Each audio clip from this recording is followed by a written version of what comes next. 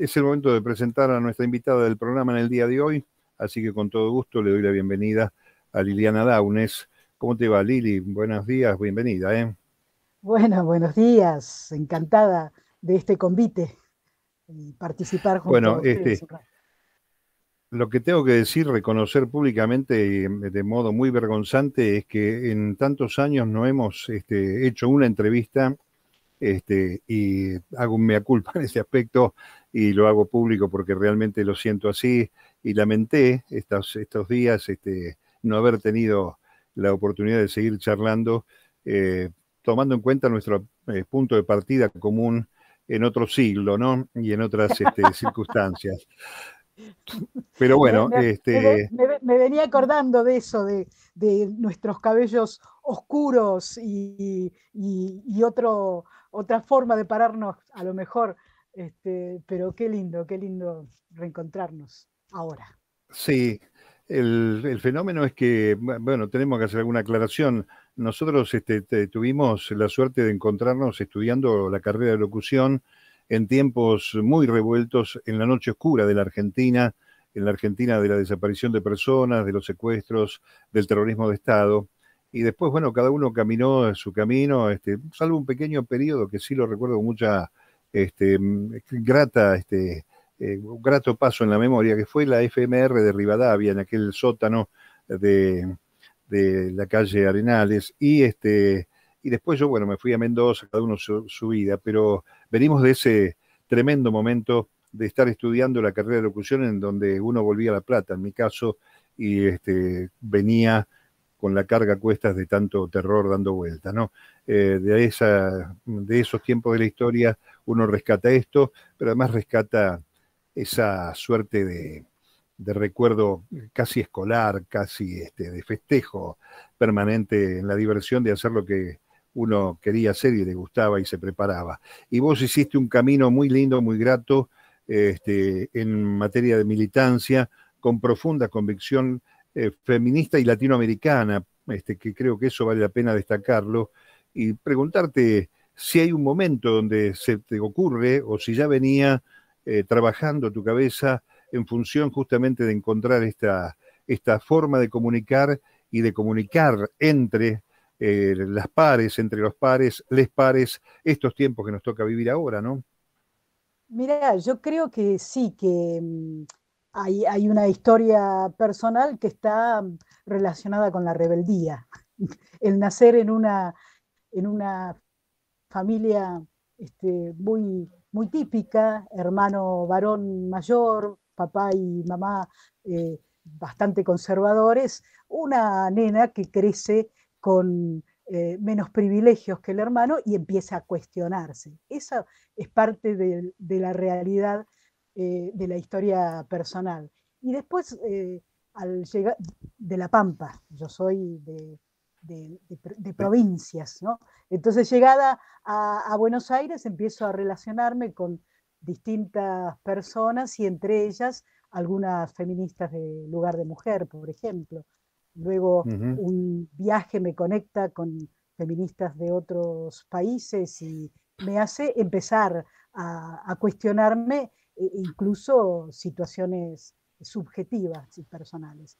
Y en cuanto al trabajo concreto, eh, estaba en Radio Belgrano, aquella nombrada Belgrado de la Primavera Democrática, eh, y participé como periodista del cuarto Encuentro Nacional de Mujeres.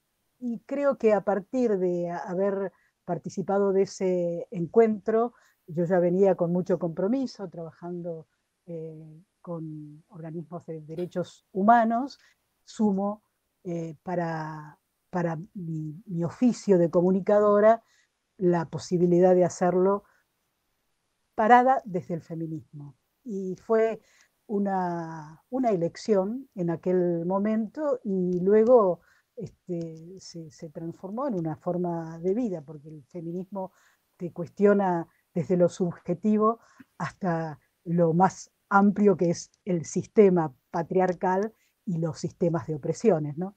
Entonces, parada en ese lugar, sin necesariamente haber hecho específicamente programas para mujeres, como se acostumbraba en aquellos primeros tiempos, em, digo, parada desde el feminismo, fue que empecé a mirar y cuestionar y comunicar.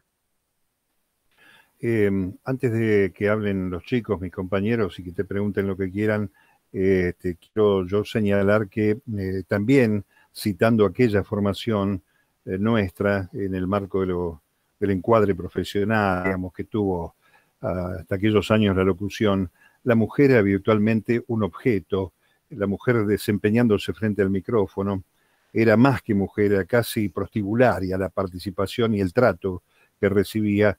Y bueno, felizmente se, han roto, falta un montón, pero se han roto unas cuantas barreras este, que terminaron con esa, eh, ese destrato, ese maltrato y, este, y que buena parte de eso se debe al esfuerzo eh, de, minas como vos que lo, que lo han marcado y que han además este, asumido la responsabilidad de estar frente a una este, conducción, a un trabajo personalísimo de producción este, personal en el sentido de llegar a comunicar desde el lugar que debe comunicar la mujer y no complementario, ¿no? Este, que también es una tarea este, que ha sido este, muy ruda, muy, muy este, chocante para muchas este, compañeras frente a, los requerimientos, dicho esto de la mejor manera posible este, y diplomática, a los requerimientos para acceder a la, a la actividad profesional plena y trascender desde otro lugar, ¿no?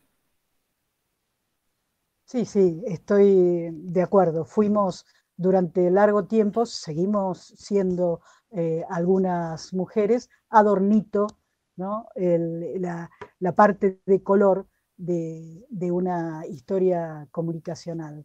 Y muchas otras compañeras, y me he sumado a eso, y, algunas jóvenes me consideran pionera, pero ha habido muchas antes eh, que rompimos un poco esa, esa esa pared de cristal, no techo. El techo todavía no lo, hemos podido romper. Sí, es verdad. Es verdad. Bueno, está Lucía Casajus que seguramente quiere hacerte alguna pregunta y también Axel, así que vamos con Lucía. ¿Qué tal, Liliana? Bueno, un orgullo, un honor tenerte hoy acá en, Meridiano Virtual.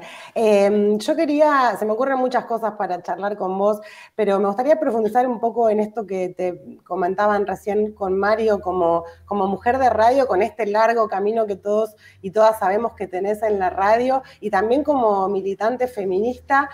Eh, algo decías recién, pero me gustaría que profundizáramos desde que comenzaste en la radio hasta estos tiempos, ¿qué cambios efectivamente viste en el, lugar que, tiene la mujer en la radio? Bueno, fundamentalmente el cambio, insisto, eh, ha sido en nosotras mismas. Yo creo, eh, como, dice un, breve poema, andamos cambiándonos nosotras para cambiar el mundo. Pero por eso, para cambiar el mundo, cuando tomamos conciencia de que estamos luchando contra muchas opresiones, eh, tenemos que cambiar nuestra subjetividad. Eh, estamos inmersas en una cultura patriarcal, eh, racista, capitalista, que nos pone, digamos, en un lugar a las mujeres que debemos primero trabajar con nosotras mismas para luego este, poder hacer en, la relación interpersonal con los compañeros eh, los diferentes cambios. Yo tuve eh, la, suerte de participar de algunos eh, proyectos progresistas donde algunas cosas teníamos en común y había que discutir otras, en, en, especial esta posición de las mujeres. ¿no?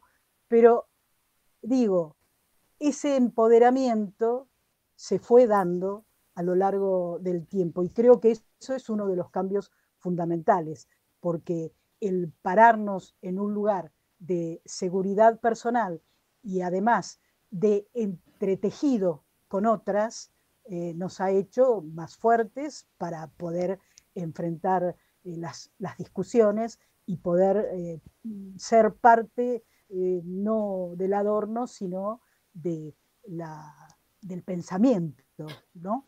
Este, ese es uno de los cambios fundamentales. Y yo creo que eh, a partir de...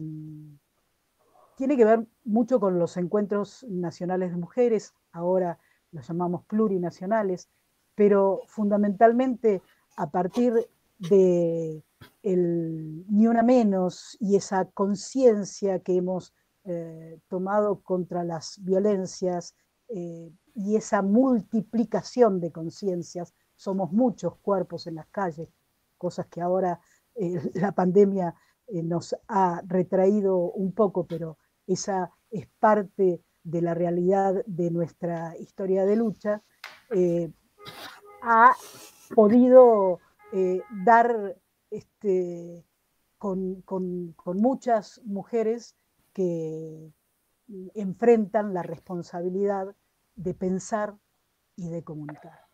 Eh, estos son los cambios fundamentales, ¿no? Y, hablando de, esto de comunicar, también mm, te quería preguntar, Liliana, ¿qué rol juega el uso del lenguaje? ¿no? Una conquista que de a poco también vamos dando. Eh, eh, ¿Qué rol juega el, uso del lenguaje desde los medios de comunicación? ¿no? Bueno, esa fue una, eh, fue y es una preocupación mía muy, muy cotidiana en cuanto a la utilización en los medios del lenguaje. Eh, yo había en algún momento eh, pensado y, lo ejercía a hablar del nosotros, ¿no? Cuando en el lenguaje inclusivo estaba solamente puesta la mirada sobre las mujeres que habíamos sido negadas durante toda la historia en ser nombradas, por lo menos en nuestro eh, castellano. Y, eh, eh, fui ensayando diferentes maneras, fuimos ensayando también colectivamente diferentes maneras de nombrarnos y fuimos poniendo la A como algo fundamental para, para la visibilización.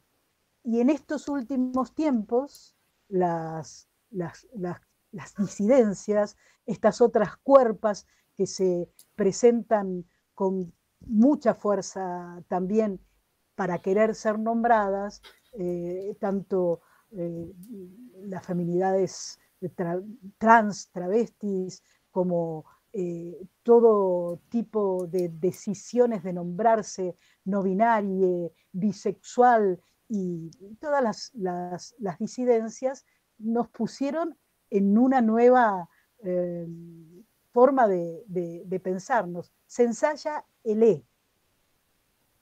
Seguiremos ensayando, el lenguaje es una, construcción.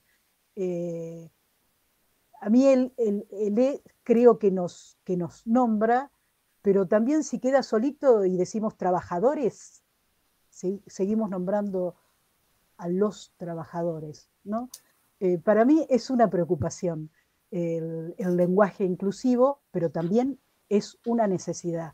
Y como comunicadores, más que nada en la radio, que es oral, la X, el arroba, no lo podemos, no lo podemos nombrar de otras maneras que ensayando distintas formas. Vamos a llegar seguramente a una, a una manera de, nombrarnos a todas, todos, todes. Por ahora siento la necesidad de eh, decirlo así, todas, todos, todas.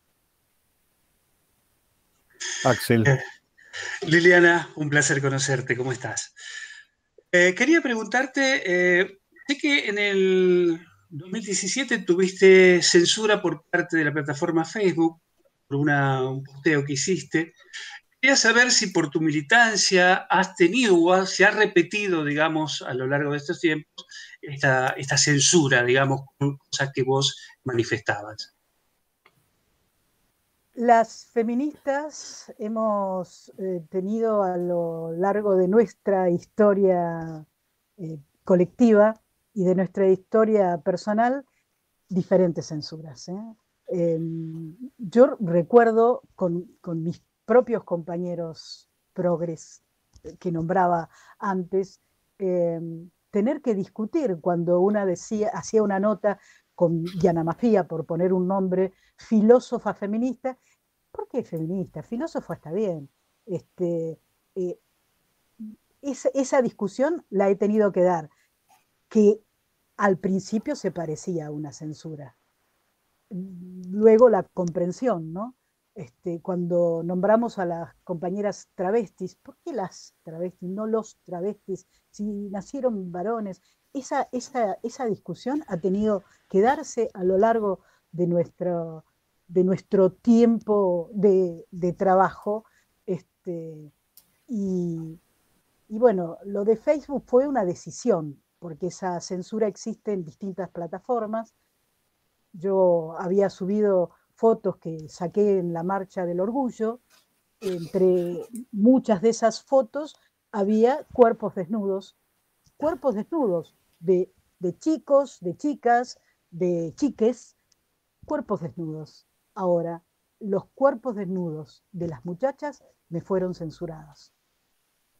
Entonces, con una compañera abogada feminista, qué importante, digamos, es, porque es una posición política, es necesario nombrarnos así, eh, dijimos, vamos a darle batalla a esto. Entonces, en realidad es darle batalla a una empresa oh, que ni siquiera hay eh, con quién conversar aquí en, Argentina, nos mandaban y por eso desistimos de seguirla a lo largo. Este, ganamos la primera parte que fue que me devolvieron la primero me devolvieron el muro y después la posibilidad de subir esa foto y de que otras la compartan, porque alguna cosa del algoritmo se había este, cambiado. Nosotras embromábamos en ese momento y decíamos, hay algoritmos feministas. No es cierto, porque otras fotos de mujeres, sus senos fueron censurados.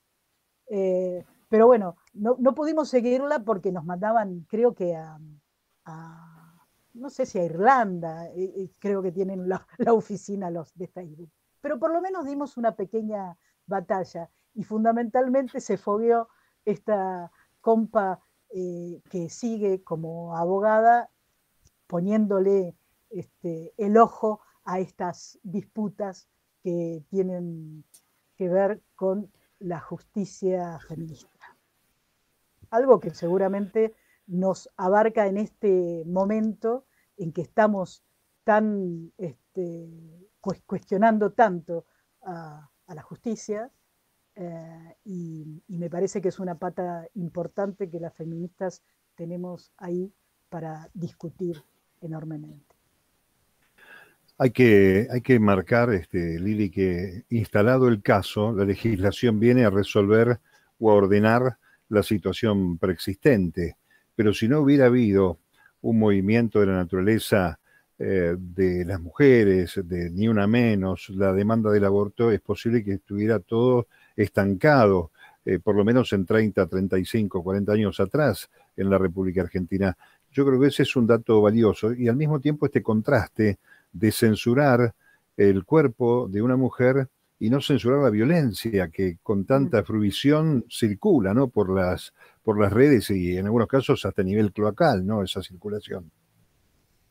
Eh, efectivamente, yo creo que equivocamos eh, los objetivos, no nosotros, no nosotros que estamos acá este, nombrándolo, poniéndolo en, en cuestión, pero hay intereses específicos para que eh, no se hable de violencia y se hable de otras, otras cosas eh, que están ligadas a lo moral y que están ligadas a una manera de entender el mundo tan conservador como sectores de nuestra sociedad que lamentablemente son los hegemónicos. Em, eh, está bien. antes de que sigan los chicos preguntando algo que seguramente tienen ganas, este, Quiero decir que Juana Pimienta está en el aire de la radio de la universidad todos los días a las 13, el día siguiente de la emisión original, con lo cual es una forma de tenerte cerca. Y además este, porque las radios este, públicas y las radios universitarias, en una gestión que comenzó hace unos cuantos años atrás, este, van camino a hacer algún tipo de intercambio en el marco de la producción, eh, en el marco del proceso educativo que vivieron los chicos en forma fantástica eh, eh, seguimos educando, por ejemplo, en la Patagonia, en lugar de ver pibes de 7, 8 años escuchando radio, en la Argentina del año 21-20 es este, algo realmente fantástico. Y, sobre la pimienta vale la pena destacar que ahí sí hay un gran contenido este, latinoamericanista fantástico, una forma de rescatar, de recuperar voces, de recuperar letra, de recuperar palabra, ¿no? Es un gran laburo ese que haces ahí es un laburo absolutamente placentero, pero es un arduo trabajo porque además la, pandemia nos ha, por lo menos a las personas de mi edad, eh, encerrado bastante y, trabajo sola, digamos. Este, eh, por suerte, a lo largo del tiempo y con grandes eh, compañeros y compañeras operadores que me han transmitido las diferentes fórmulas aprendí eh, a editar y, bueno, y, una que también este, empieza a, poner todo, porque el, trabajo mío es parte también de mi militancia, porque la comunicación es, es una, una militancia. Este, entonces una se compra el, el, mejor grabador que va saliendo cada vez o, este, eh, la computadora la va poniendo al día para poder hacer el, trabajo y todos los días me pongo a hacer la Juana Pimienta, que es una, experiencia hermosa de, navegación, de comunicación y aprendizaje, porque una palabra, una canción, un estado de ánimo me, abre la puerta a la búsqueda y después queda ahí este, planteado en, una hora de programa. En este tiempo de pandemia y, tan distópico, eh, la búsqueda de la belleza, la búsqueda de, la, poesía, eh, de, de, nuestra América, pero también sin, fronteras, digamos, es, es, un objetivo. Pero muchas veces la coyuntura nos pega fuerte y entonces eh, una habla de, Colombia, una habla de Palestina, una habla de diferentes mm, revueltas o, o asesinatos como las niñas del Paraguay, tratando siempre de mezclarlo con alguna cuestión de la cultura del, lugar. Bueno, es, un, trabajo que me he impuesto y que lo hago con, alegría, digamos. Y, además, bueno, rescatar, rescatar del secuestro, este, me permito este término, del secuestro patriarcal de tantas mujeres que dejaron una huella y que la misma historia se encargó o trató de borrar para que no este, persistiera, para que no se mantuviera en el tiempo. Ese es un elemento que te debe dar una satisfacción enorme, ¿no? Descubrirlas, reencontrarlas, eh, buscar la letra, el recorrido, la huella, ¿no? Debe ser fantástico eso. Sí, yo sin, sin, darme cuenta, porque ya forma parte de, de mí, este, las voces de las mujeres están fundamentalmente presentes en lo que hago. Es, parte de la búsqueda, tanto en la canción como en la poesía, eh, es parte de la búsqueda. Bueno, Lucía, vamos a ir este, dejándolas este, libertad pronto a, Lili, pero ya agradeciendo de entrada, así que dale nomás, pregunten lo que quieran y, sí, me gustaría, y vamos cerrando hacerle una pregunta relacionada a esto que le preguntabas, que le comentabas, que le comentábamos anteriormente, que, emitimos eh, Juana Pimienta en Radio UNDAV, eh, porque Liliana, como comunicadora, eh, ejerciste y ejerces tu profesión en grandes radios como la Red Nacional y otras muchas más, pero también en emisoras comunitarias como FM La Tribu, has tenido colaboraciones con Radio Universidad de La Plata también, nosotros somos una radio universitaria, y sobre esto te quería preguntar, ¿cambia tu, rol, tu oficio de comunicadora cuando estás en la radio comunitaria o, en una grande radio, cómo cambia el diálogo, también qué otras cuestiones se ponen en juego.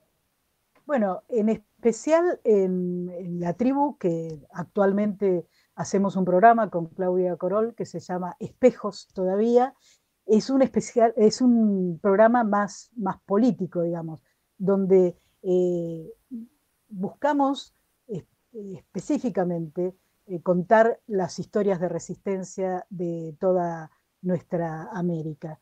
Entonces, allí eh, quizá em, está más, más, más, más puesta la, palabra, el pensamiento, la denuncia, el señalamiento, este, las, las, la presencia de distintas voces sin, sin pensar en tiempos. ¿no? Creo que la radio comunitaria nos da esa, esa posibilidad de no estar tan este, dispuestos a, cortar una, nota porque se nos hizo larga este, cuando hay cuestiones fundamentales que allí se dicen. En las radios comerciales o, en el caso incluso de Radio Nacional, que hay una, estética y una fórmula de presentar un poco más, más, breve cada contenido, eh, bueno, simplemente se trabaja sobre eso y, creo que es, es, una de las diferencias más eh, importantes, el, el tiempo que se le da a la participación de aquellas voces que señalan, denuncian u opinan y crean un, camino hacia ese horizonte más humanitario, más liberto que pensamos y queremos, ¿no? Bueno, eh, gracias y perdón de nuevo por este, demoras eh, de unos meses sin charlar.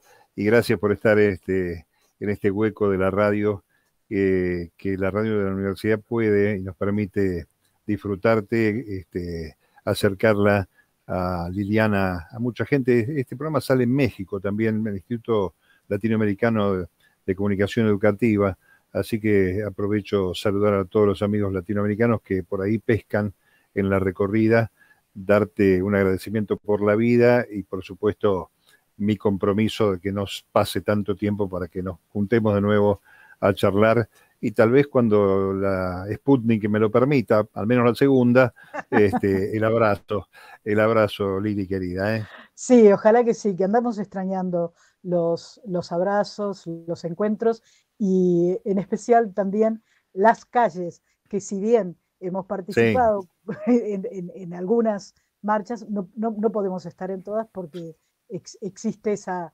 esa barrera. Pero bueno, andamos apropiándonos de, de, nuestro nombre, nuestro cuerpo y nuestro territorio para poder transformarlo. Gracias a vos, Mario, gracias Lucía, gracias Axel. me encantó estar este momento con ustedes.